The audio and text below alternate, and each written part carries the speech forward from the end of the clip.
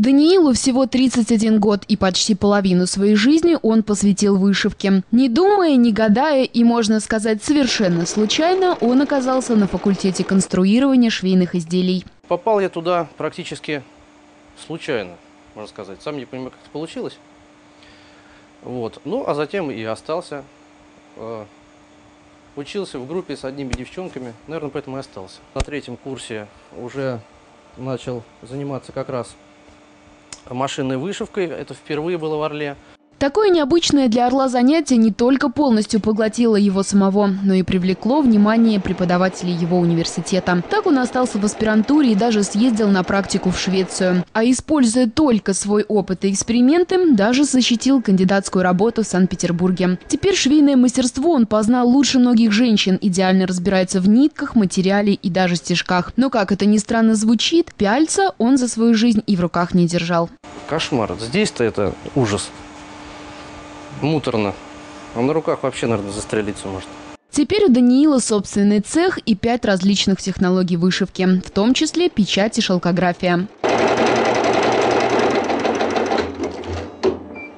Вот только любимая технология все-таки вышивка. Прежде чем что-то шить, в специальной программе он обрабатывает рисунок, строит схему вышивки, выбирает цвет и размер. И когда логотип готов, мы отправляем его в электронном формате на вышивальный автомат. Дальше пойдем в цех и посмотрим, как это будет шиться. А дальше работа начинается самое интересное. Далее в процессе мы зарядим специальные кепочные пяльцы. Это бейсболка на машине установлена. Оборудование под шитье кепки. И вот последние действия. Выбор настроек в специальной программе. Ну все, вроде все точно. Можем запускать. Теперь по четким контролем кандидата технических наук стежок за стежком на бейсболке прорисовывается рисунок логотипа.